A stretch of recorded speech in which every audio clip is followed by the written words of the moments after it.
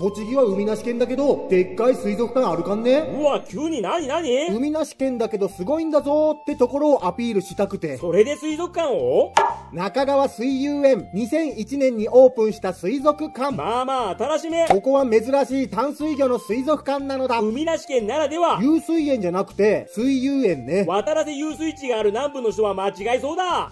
施設の近くを流れる中川の魚をはじめ、栃木県に住む魚もいる。淡水っていうのがいいですな。南米アマゾンの魚もいるのだ。世界の淡水魚？トンネルで下からも見れます。ちょっと素敵なんですけど。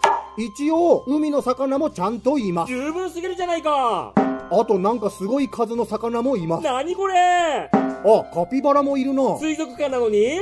怠け者も。いや、写真撮るの下手くそ。